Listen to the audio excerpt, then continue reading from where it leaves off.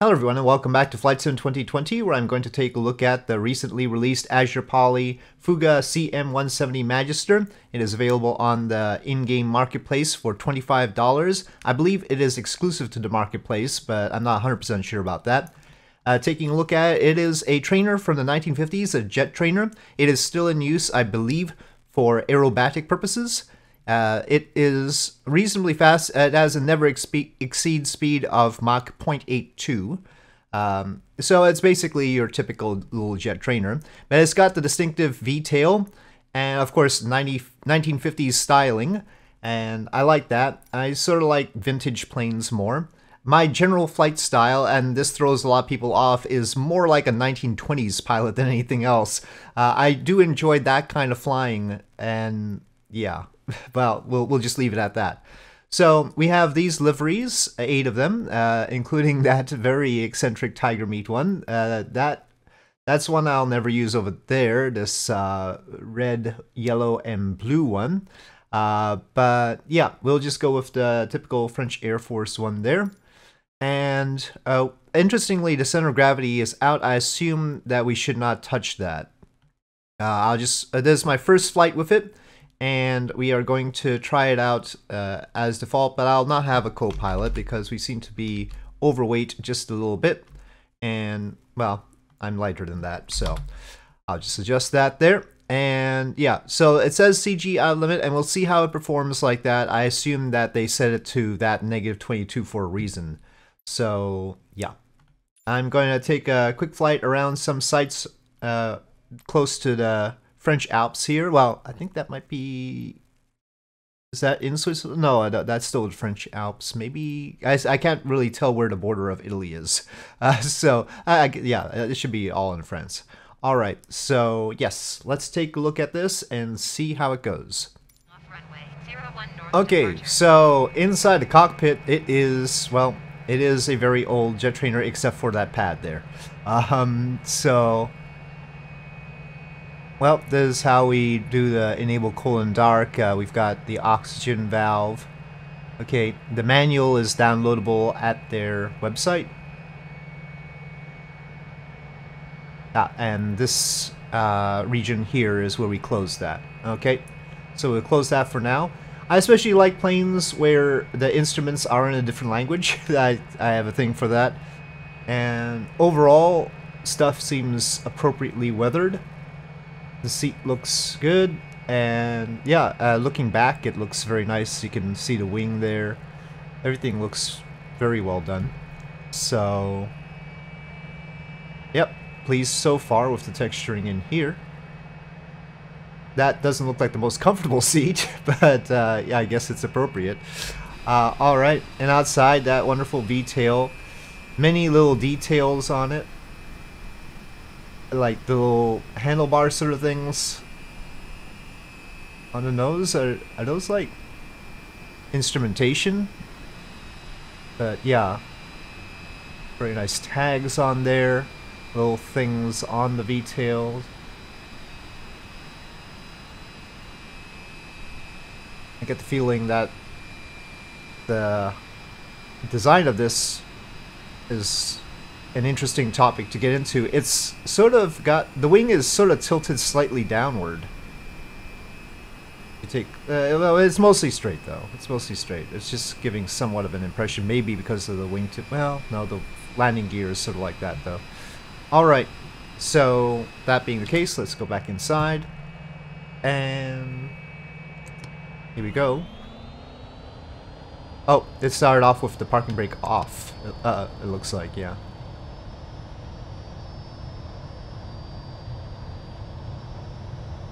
Interesting sound.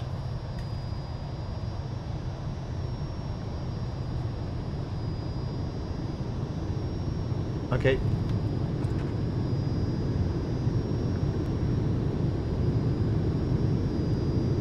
Wow, there's a lot of air around.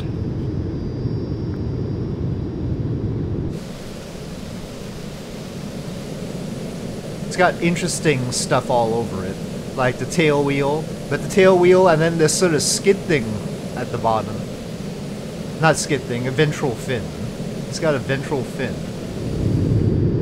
It doesn't really have a red line that I can see, maybe on the outside. Oh, there's our GPS. Wow, I haven't heard this sort of sound in a plane in Flight Sim so far, so...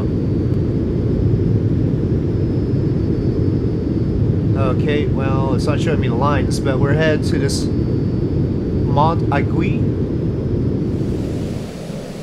Oh, I'm just gotta go full throttle and see what we can do. If I break the plane, I break the plane.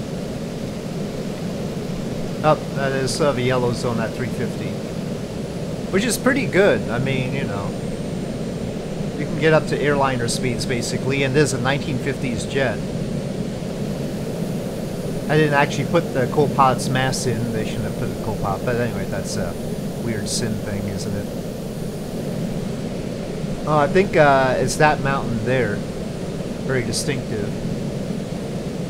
Mount Aiguille. Aiguille.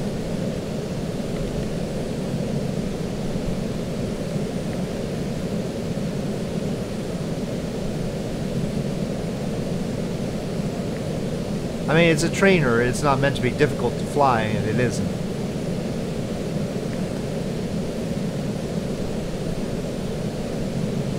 Oh, nice sort of mountain. Very distinctive indeed. I have not previously seen this in Flight Sim, or taking a look at stuff I have not seen before. So, next up, uh, I wish it'd keep my actual flight path on here. It's it's decided only to show the very end of it on the map. But anyway, Lake Mont Montagnard. Montagnard.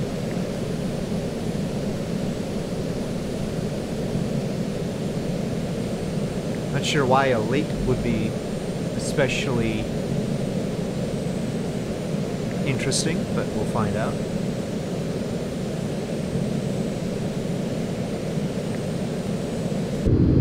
inside a cockpit. Still super loud. We look back at the mountain? Oh, barely we've got a glimpse of that.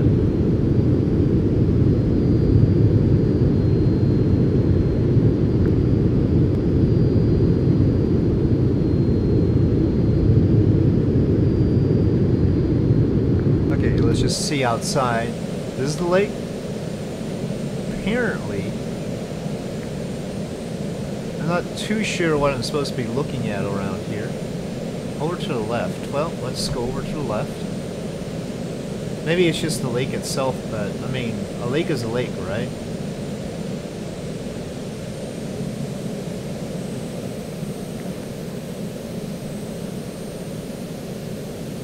Maybe it's basically doing a loop of whatever it's supposed to be. I mean, it's not the most wonderful lake I've ever seen in Flight Sim, so uh, maybe they did very good shorelines on it. I don't know.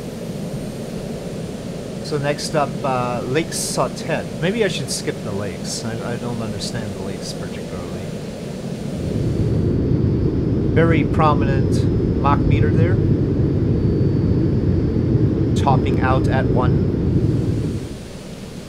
Let's actually see how slow we can go and it still be sort of okay to fly for sightseeing purposes. I think the location we want is actually higher up maybe.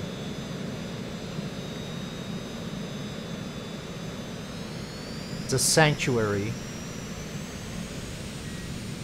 Okay, uh, you made a little stalling beep at about 120.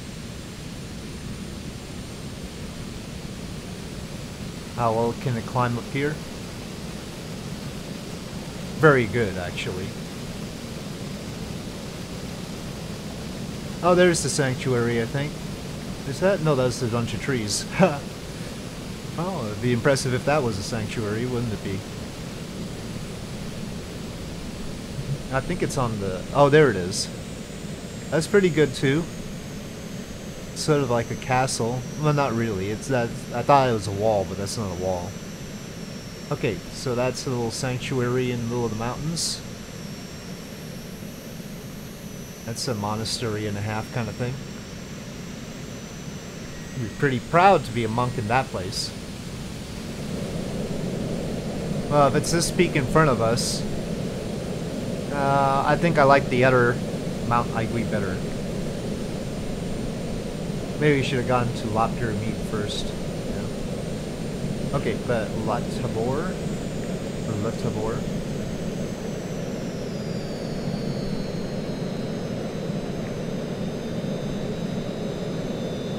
Something down in this valley? It seems a little bit higher up.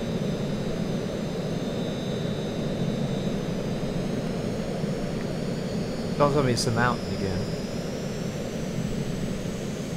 Uh, we gotta make the mountains uh, sight to see. They should be maybe having... Oh, now it's looking a little bit better. Geez, it suddenly went from being icky to being nicer. I don't know. Maybe uh, some of the photo scenery wasn't clicking in or not downloading properly. Well, now, now things look quite a bit different. Though, still, I don't need... Oh, wait, what's that? Uh, no, those are just trees. Anyway, yeah. Mountains are mountains. Mountains are mountains, lakes are lakes. I'm not overly impressed, but at least it looks better now. Yeah, it looks like, for some reason, some of the photo scenery wasn't loading properly. Yeah, I mean, it looks like these are like standby textures, and then there's probably a better set that isn't loading for whatever reason. So next, Grand Lac de Laffrey. Well, that's a lake. Lac is lake. So, alright, we'll take a look, but I don't have too much hope for it to as being especially magnificent. Well, this is Grand Lac de Laffrey.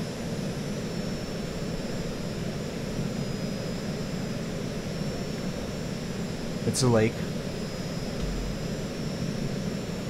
Okay, and then we're headed up to Grenoble, and there's LFLG where I'll land. Yeah, I guess some of those mountains were like photogra supposed to be photogrammetry mountains, but they weren't loading like the first mountain did. Think is what happened. Okay, well, it is all Grenoble, I think. Time to descend. Air brakes? Do we have air brakes? We do. We have those little things on the wing that sometimes the sportier sportier private planes have too. Just wanted to see if that was a special site that I had targeted or not. Uh, it's tough to see anything in particular around here. Pointed right at that point. There's that building over there. I think that must be what I was looking for. Is that a stadium? And that's certainly a distinctive building. That's definitely custom.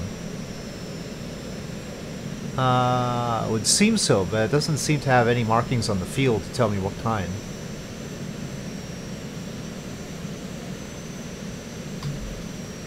Okay, so LFLG. Well, I'll take a look at the airfield first and then come around. Uh, it seems really snowy. It's not a very long airstrip. Man, I don't even see... Oh, there's some lights there. Uh, I sure haven't kept the snow off of that thing. Yeah. I guess the part with some pavement still slightly visible is the runway. Alright. Okay. The white zone on the airspeed thing down there I don't think is what I think the white zone ought to be, so got mine gear down. Uh